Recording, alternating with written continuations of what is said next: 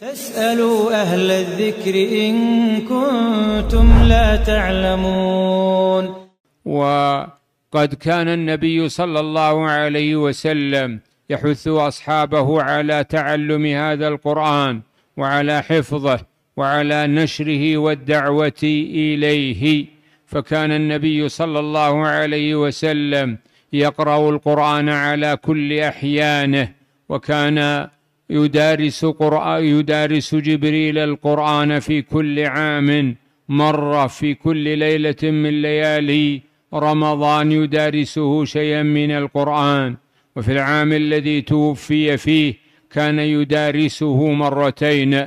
ولذا نعلم أن هذا القرآن محفوظ وأنه لم يتطرق إليه تبديل ولا تغيير ولا نقصان. ولا زيادة. ونعلم أيضا أن الله قد حفظه من أن يكون هناك تحريف فيه لا يعلم به عباد الله.